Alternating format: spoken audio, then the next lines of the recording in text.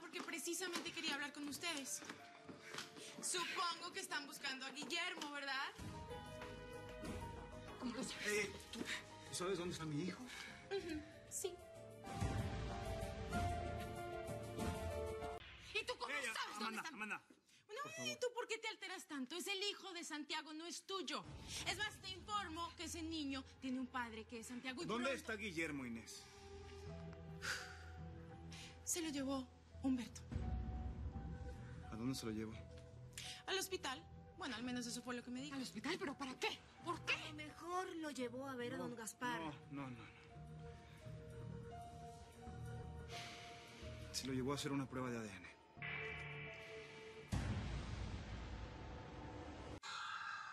Claro. Claro, tiene que ser eso. Es eso, Amanda. Se lo llevó para hacerle el examen de ADN. A ver, un momentito, ¿de qué examen de ADN están hablando? Yo necesito ir a ver. No, no, no, espérate.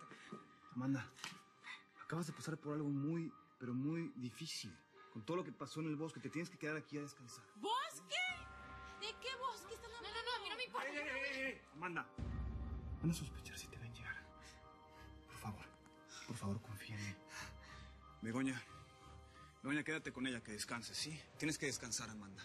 Yo me encargo de todo, por favor, ayuda.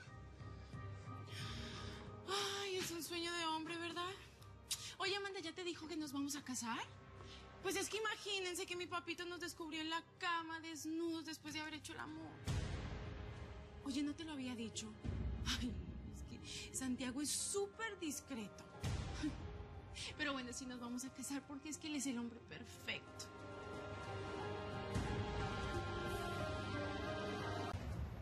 ¿No entendiste que quiero estar sola? Pero, pero es que yo no he terminado de hablar. No, pero es que a mí no me interesa hablar contigo, Mira, mira, mira, yo solamente quiero decirte que estoy muy feliz porque cuando me case con Santiago, a lo mejor tú, Humber, Santi y yo podemos ir al cine, a cenar, no sé, podríamos ser los mejores amiguitos. Fuera. ¿Pero por qué? Cuando tu bebé, cuando nazca, cuando crezca, a lo mejor va a ser muy amigo de Guillermo. Ay, ese niño, ese bebé que te juro que voy a criar como si fuera mi hijo. No te atrevas a tocar a ese niño. Y escúchame bien, Inés. Que yo no me entere que le pusiste un solo dedo encima. Porque te lo juro que te vas a arrepentir. ¡Ay! ¡Auch! Te juro que no te voy a invitar a mi boda. Eres una brusca.